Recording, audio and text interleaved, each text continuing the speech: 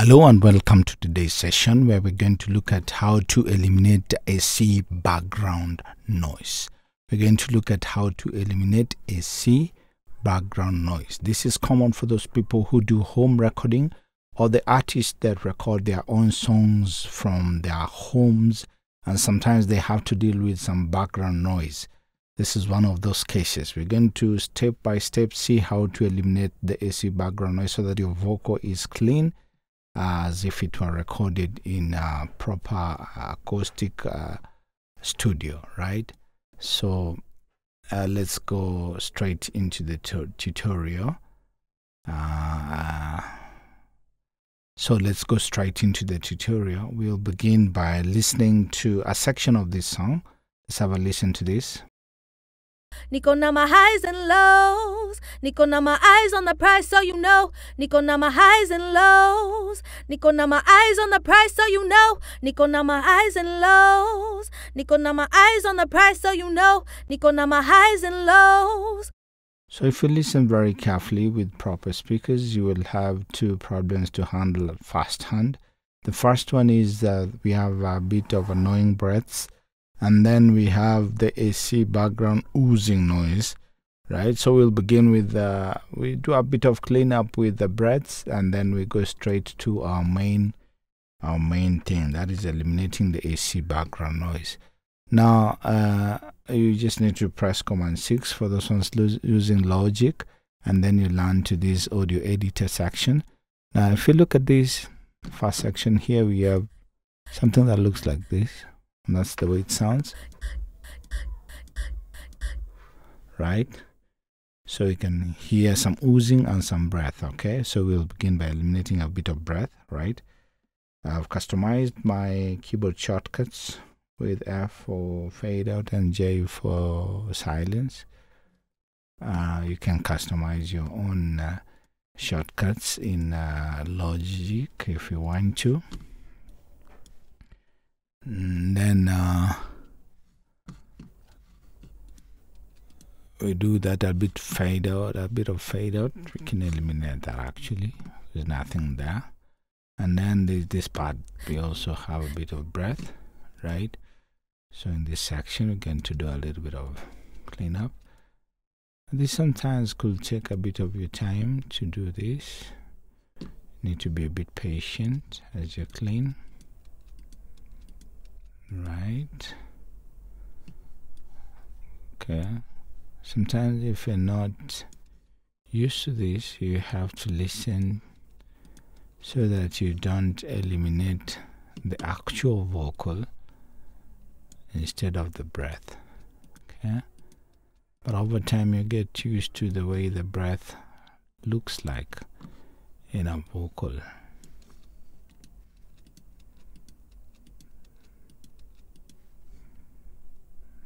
okay and sometimes the breaths are similar to the S noise so you need to be a bit careful. The S and the sh.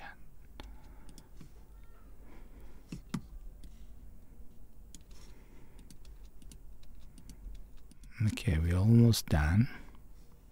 We're actually done Okay, let's have a listen to how it sounds. Nico now my highs and lows. Nico now my eyes on the prize, so you know. Nico now my highs and lows. Nico now my eyes on the prize, so you know. Nico now my eyes and lows. Nico now my eyes on the prize, so you know. Nico now my highs and lows. So if you listen to that, we actually have eliminated the breaths there's no disturbing signal of the breaths so we're remaining with the AC noise. For us to do that we need to press command 6 in logic and then it opens up the audio editor window. We close the audio editor window then go to the edit section.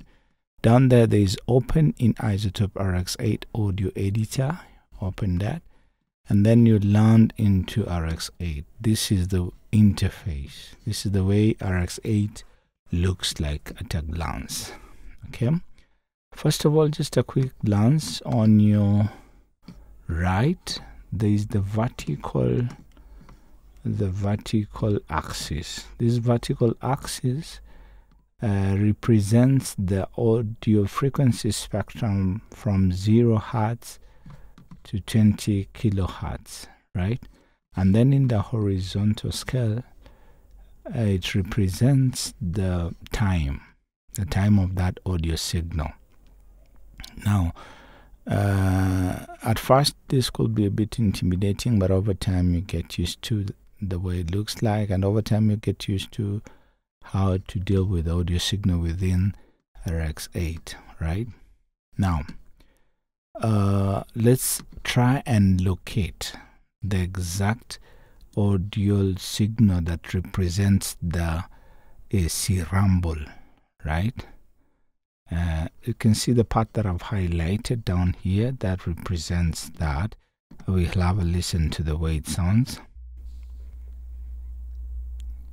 If you have the right speakers, you could hear that rumble. But if you're using your phone or maybe small speakers, you might not be able to hear this. Okay. Right, that is the rumble that we're going to use. And today we're going, are different ways of eliminating these.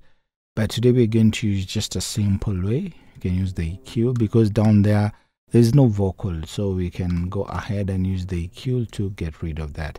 And we're going to use the high pass filter to get rid of that. We'll have just run that to above 100, just something like 109 there will be good. 109 hertz, right? And then we render out. Cool, works like magic. Actually eliminated that rumble. There's nothing down there, right? But we're not yet done because there's some aspects of the rumble that um, that reside slightly above the 100 hertz okay i'm going to highlight that and play that so that you can hear that. Okay this part here. And let's have a listen to this.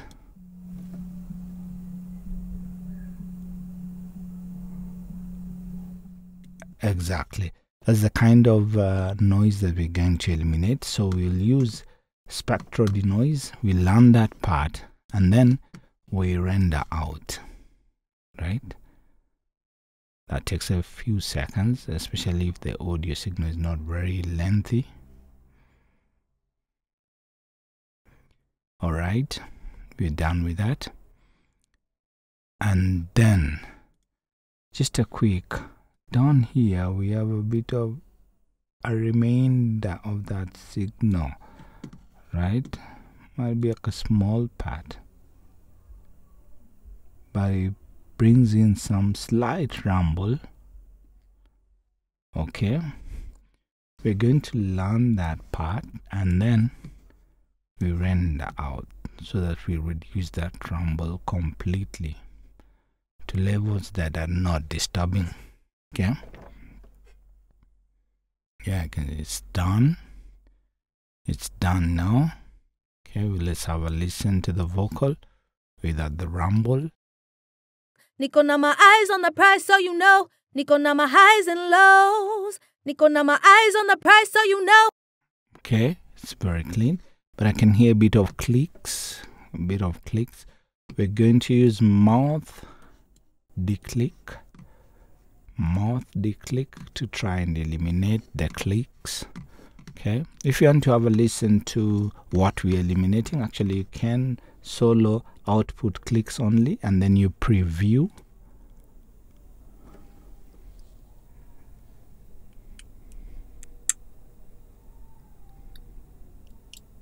Okay that is exactly what we want to eliminate just to clean the voice a little bit.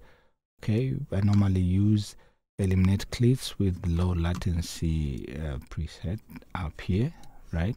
Don't want to be very radical in my elimination of clicks and then I render out. Here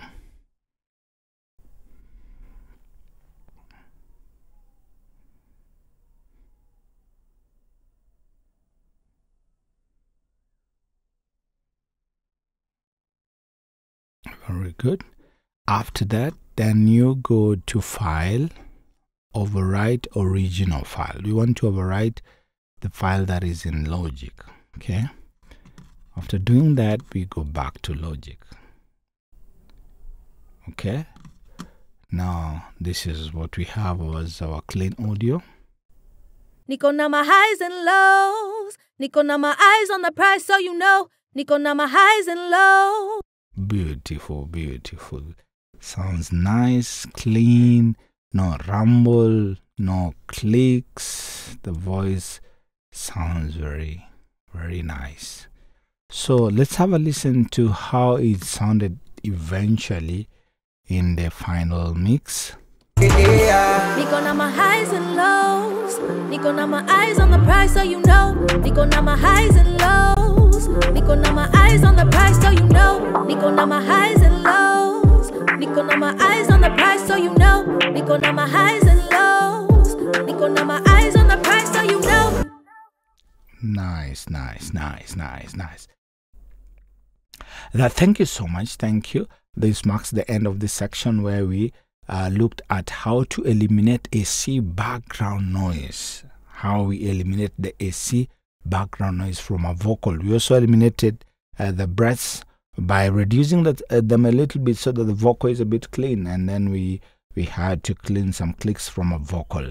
Do not hesitate to subscribe, like, and leave a comment. Thank you.